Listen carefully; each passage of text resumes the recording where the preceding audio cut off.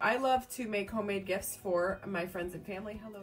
I have this, I pick these boxes up all the time. I got this at the Goodwill. We're gonna give it a little paint. We're gonna give it some decoupage paper. And we are going to give it some Totally Dazzled. We're gonna use some mesh wrap, the gold, I believe. Um, and um, these just make great Christmas gifts. I pick up these little boxes every time I see them, especially at the Goodwill, because why not? So anyway, guys, I'm going to get started. I'm actually going to paint this with some white flat chalk paint from Folk Art.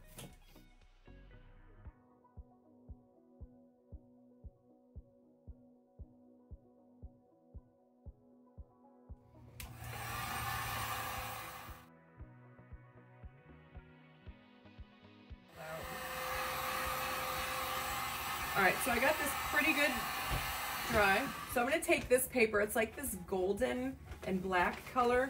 I'm not gonna do a water pen with this one. I'm just going, cause it's going on a straight flat surface. I don't, it's just gonna mesh right up.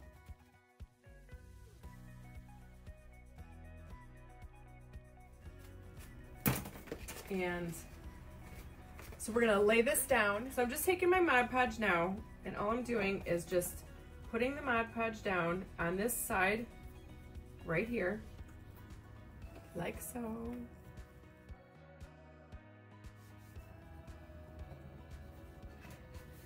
Doesn't that look so cute? And see, this is why I chose this color because it's going to bring out the inside of this box. Yeah, so it kind of all flows together and complements each other. The white part I'm going to cover up. We're going to wax this with some dark wax. So I'm going to do the same thing to the other side. And doesn't it look so, just like that, it looks adorable. So on these sides, we're going to do a different uh, print. This is rice paper also, but this almost has like the dryer sheet. Um, I love this. This is from, um, I don't remember where I got this from, but look at how cool these are. I want to use some of these clocks on this side. Um, I want to get this little bird down here on this side. And so what I'm gonna do with this, I'm just gonna cut all the way up on this. And then I'll clean.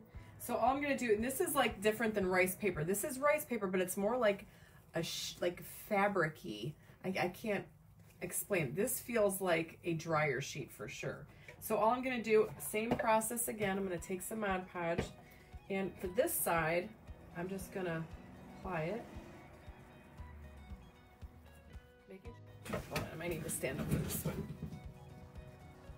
To get that flat across there and just rub that out like so.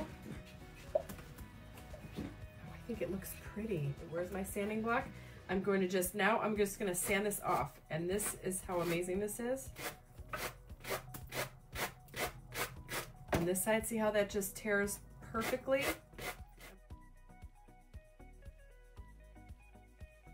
Look at how pretty that looks. Isn't that sharp? Now here, this is where we're gonna put the bling trim.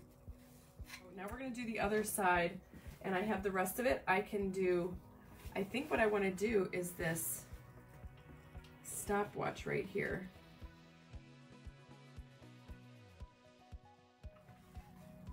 Look at that. Isn't that so stinking pretty? It's different, but it all kind of flows. All right. So now you're gonna take your Mod Podge and you wanna seal all this paper down before I even start adding my bling.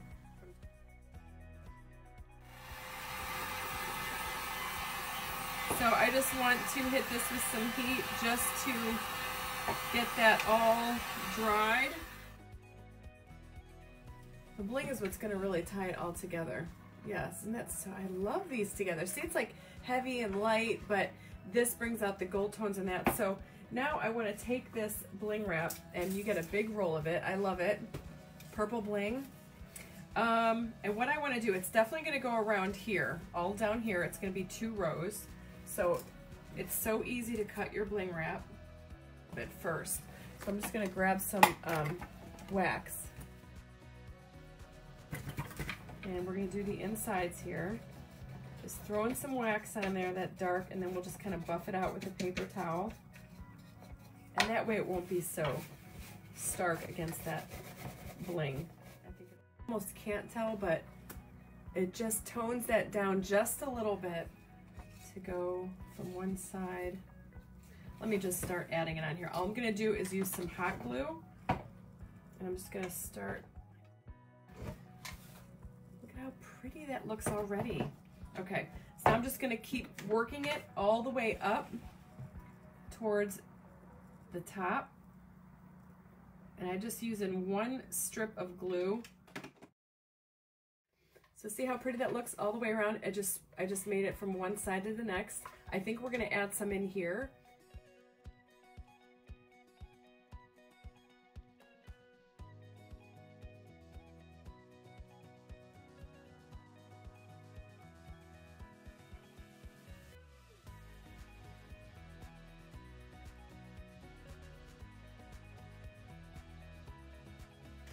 We're just gonna go for it, y'all. Just gonna lay some glue down on that little lip down here at the bottom. And this is a bigger uh, piece of twine. This is a thicker piece of twine. It's very, very rusticy, but I like that rustic glam. This is what I was going for in the beginning. So we're just of, of, of rustic there. And this yeah. is super easy, guys, when you're doing like handles or any boxes like this. Just start on a side and all it is is just glue. You don't have to glue the entire thing. To get it started, you want to take some glue and I just put my twine there like so. Hold it down, wrap it around. That first layer, you definitely want to go ahead and and this is going to be a little bit tricky because I know that I've got, oh Lord, Please don't tell me it's stuck. I've got a big basket of ribbon underneath here. Here it is, right up front. So we're just gonna have to kind of keep feeding it through, but it's kind of easy. You just start wrapping, okay? So you just grab a whole bunch of twine. I probably should just cut out a bunch. This is where it gets a little bit tricky, but this is the thicker twine and you're just gonna wrap, wrap, wrap.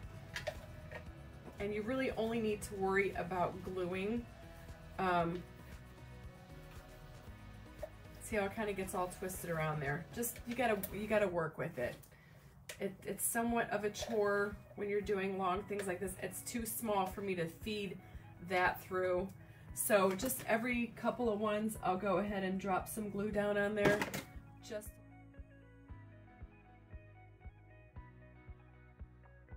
secure that end underneath there. And stick that down in there.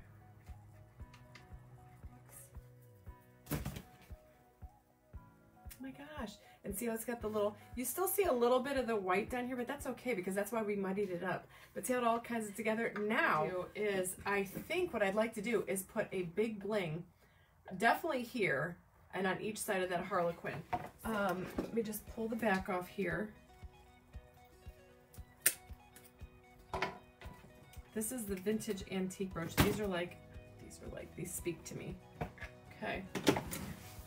And I'm just going to stand up and I'm going to attempt to put that right in the middle like so. And that way, you guys, you can customize it however you gosh darn choose. I stinking love it. Isn't that so pretty? I love the mixed metals.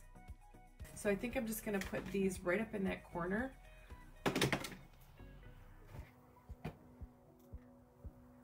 Just for a little pop of bling and a little pop of color, and I think it looks perfect. See, just a little bit of sparkle to pull out all that purple.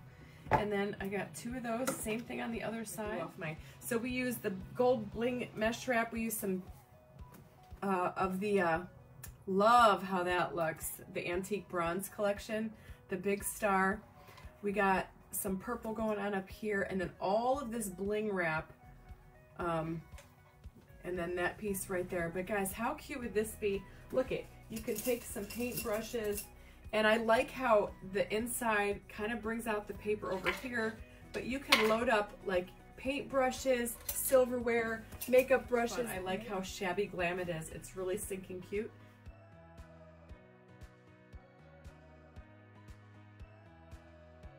Totally Dazzled sells sparkling rhinestone wedding supplies. Check us out at totallydazzled.com. But before you do, click up here and download our free printable sparkle quotes.